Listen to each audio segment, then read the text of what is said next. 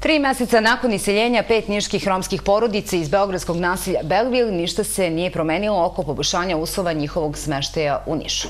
Oni i dalje žive u napuštenom pogonu fabrike kože, bez struje i bez vode. Zato su nevladine organizacije iz Niša i Beograda okupljene oko ovog problema poslale apel nadležnima da obezbede ovim ljudima najosnovnije uslove.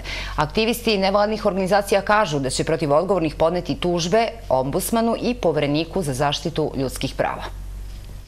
Za ove ljude ništa se nije promenilo već tri meseca od kako su iz Beograda iseljeni i od kada im je obećano da će u Nišu dobiti bolji smeštaj.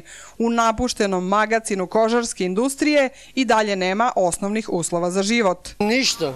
Znači ovako kako smo, tu smo. Bez struje, bez vode.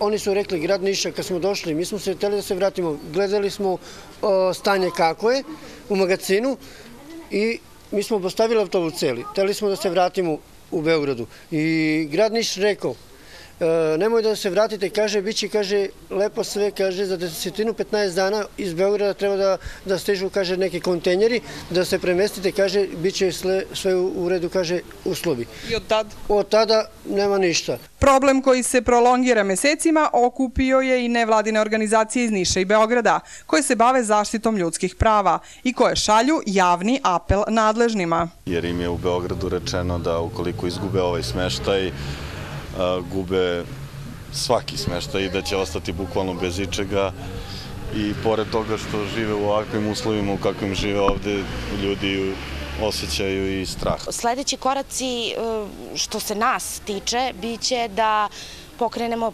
postupke pravne pred ombudsmanom i povereništvom za ravnopravnost. To je ono što naš pravni poredak omogućava, a e, čija su odgovornost ovi ljudi, pa svi, oni su građani Niša, oni svi imaju prebivalište ovde. Odgovornost, da li je odgovornost grada Beograda ili grada Niša, to u krajnjoj liniji ove ljude koji žive u ovakvim uslovima ne, ne mora da interese. Oni, nažalost, trpe upravo posledice toga što se ne zna ko je odgovoran, zato što nije postojao plan, zato što nije, zato što se raseljavanja ne rade kako treba, a mi apelujemo da se priključi voda za početak da se voda, jer ovi ljudi će biti još očigledno je dugo, dugo vremena, evo gotovo tri meseca su u ovim prostorijama.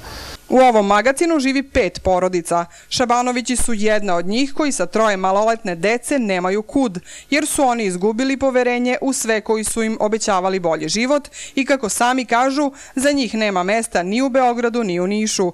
Prema ranijem tvrđenju prošle gradske vlasti po dogovoru sa Beogradom, Niš je trebalo da obezbedi lokaciju, a iz Beograda su obećani kontejneri za smeštaj.